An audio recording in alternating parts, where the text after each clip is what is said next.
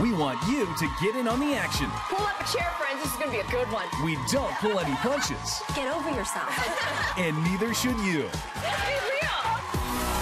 Love it, hate it, we want to hear it. Do you agree with us? Do you not? We love it when you don't, by the way. Find us on Twitter, Facebook, by text or email. That's what the opportunity of social media presents to us.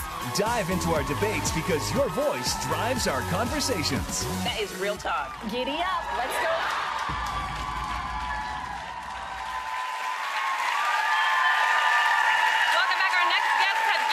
Gained huge cult for roles in sci-fi hits. She played Lois Lane in Smallville, and he was Dr. Daniel Jackson in Stargate SG-1.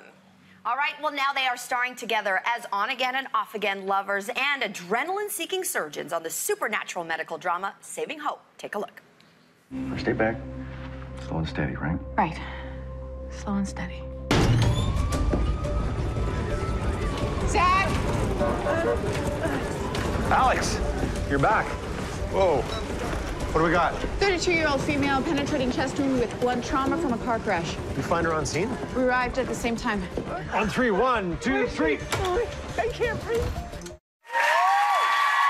the dish on all of the details on Saving Hope season four premiere are Erica Durance and Michael Shanks. Welcome. Very exciting. Oh. Okay. First of all, a huge congratulations on upcoming season three, uh, which is very, very exciting. On the upcoming season, season four, I believe. I know, we're coming back again. Which is you're back. So what's interesting is that Erica, you were experiencing a little bit of life imitating art, imitating life, because your character was pregnant. You were also pregnant in real life, and now Alex is dealing with going back to work after mat leave. So are you. So let's see how has this all played out on set, off set, with you juggling these two very interesting roles at the same time. You know, it's been a little bit crazy. It's really surreal, and I just it just never stops. And I just didn't realize how much you can accomplish with very little sleep and continue working. I might ask Mike. I might not be that pleasant to be around at, at work, She's but uh, wonderful. Now I know you're a dad. We were saying you're a dad of three, and have you actually been tapped yet for any babysitting duties on set? no, not yet. Not with with hers anyway. But we have. Excuse me, I had to spit all over myself. That was great. That was awesome. You're in, Um, yeah, I, I, I, Carrie, wipe, wipe me because you know how to wipe babies. yeah, thank you. Um, no, she hasn't hit me up for that. But we have we have our own like brood of children that run through our sets, so we've been kind of like taking turns looking after them. So. And Erica, if I may, how old is your little guy now? he's seven and a half months. Seven and a oh. half months. Oh my goodness, I can't Oh even. I my can't goodness, even. baby. He's really little there. Look at those Oh, chubby little hands. Too cute. Oh gosh. Every time I see newborns, it does things to me. It's not good. Okay, so so let's talk about this show. And season three ended. I mean, there's a lot of obviously death in the show because it's dealing with a hospital, and sometimes in the show, people who die sort of come back in ghost form. But season three ended with a, quite a shocking death. I dare say a kind of Game of Thrones level of death shock. So, are, can we expect that kind of uh, types of shocks in the, in the new, new season? Oh, look at this. Wow. Oh. Cat got your tongue? Mm-hmm. You know what I, I like about this season is that you're you're seeing that some of the ghosts aren't always all well-meaning. So there's a little bit more malevolent, malevolence coming in, and of course, Michael deals with that a lot more than I do. But um, it's it's another it's another angle to be playing, and so it's a little bit more. There's a little bit darker. I think we also Nice. proved, though, with, with the death of, of the Joel character, that that nobody's entirely safe too, which gives, you know, there's there's shows that you can sort of like, you know, if you stay down there and kind of keep it really nice and safe and on the QT, there's no stakes. And when you introduce that concept that you know, any time anybody could go. Well, except for you probably. But anyway, anybody could go. That that uh, you know every situation has urgency to it. If it's if, if you don't believe anyone's going to die or, or is in je- true jeopardy, then it's not really dramatic. So. Now, I know you slid it in there, but I am going to say it again, and I want to forewarn everyone. There's a spoiler alert here, because although you slid it out, there was the shocking death of Dr. Joel Goran, which was a big deal. That was played, of course, by Daniel Gillies. It was shocking. It was very It shocking. was shocking. I was watching because I didn't know. Uh, well, I knew that he was dying, but I didn't know how they were going to do it. And uh, so I was watching it with my husband way after it had played. It was a rerun, and we were like, "Oh my goodness, he really died." he really died. But then what's the vibe release? It was. Okay, so then what's the vibe on set then? If you feel that sort of no one's safe and anyone could be in jeopardy, that's got to be an interesting atmosphere.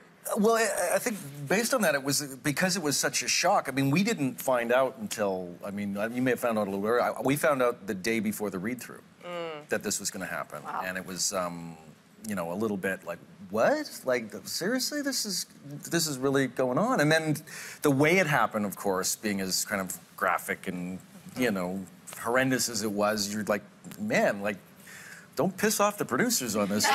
So. It's funny. People were coming up to me and being like, "Hi, so how's it going today, Erica? Everything good? Everything good?" I'm like, "I'm not gonna kill you. it's not up to me. It's above my pay grade." But people were like, "Oh, just try to get along with her, will you?" so Okay, so there's also there's that dark element to the show, but there's also a lot of um, I dare say like sexy times in the show. And you two, your characters, have sort of had an on again, off again relationship. And I just want to know, like, what's what's in store for this season? Are you going to be on again? well, and off again. No, no. no um, there's this is the first time the audience actually gets to see them a little bit in what the happily ever after would be. At least it starts that way. And then as the show progresses, of course, they run into all sorts of obstacles, and there's the, still the, the whole issue of, of paternity and, and, and who is the, the father, and so we're dealing with that as well. Very, very nice. Okay, so uh, Cynthia, I know that they've gotten to know each other very, very well. But we're That's going to right. put that to the test. Okay, little yeah, bit. exactly. So basically, we asked you a couple questions backstage before the show um, about each other. So right now, it's going to be a problem. you're going to be answering. We're going to ask you some questions. You're going to be answering based on what you think your co-star said. Okay. okay? So you go. Okay, so Er- I'm going to start with this. Erica, if Michael were to describe your character's relationship using a movie title, using a movie title, what movie would he say? Okay. I kind of have an idea, but I have a twist on it that I think Mike would say that people wouldn't know. Okay, what movie title? Because we, we already talked about it as part of our show, anyways. It's Ghost. Yes. Okay, let's see. Is that what Michael said? Yes! But, but the addendum to that would be that I would play the part of Patrick Swayze, and oh, she would play the part of Demi Moore. I'd like to see this pottery sculpture scene. Wouldn't it be beautiful? It would be beautiful, beautiful thing. Okay, so Michael, be so what pretty. did Erica say her all-time favorite scene to shoot was? Her all-time favorite scene to shoot. Oh boy. Um, no, give me a hint.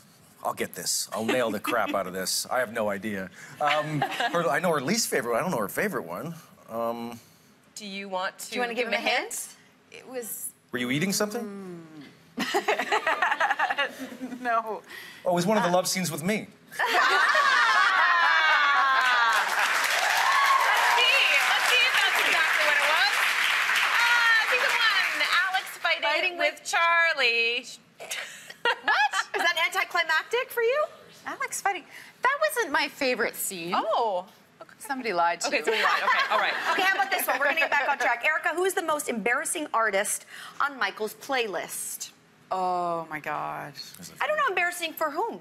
'Cause I Yeah, kind of I- like this answer. I really like this answer. Oh, really? Yeah. I don't know. I, I I would say I would like to for him to have something like singing to Celine Dion in the shower. Oh, we wish. More like rapping to Kanye. Whoa! Kanye West. Kanye West. That's it. Yeah. That's it.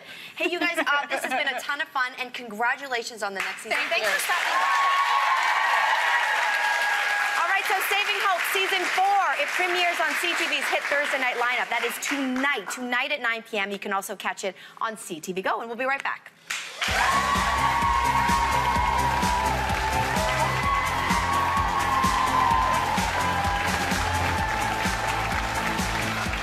Up next, thought video games were just for kids? The author of SuperBetter is here to break down the benefits of gaming.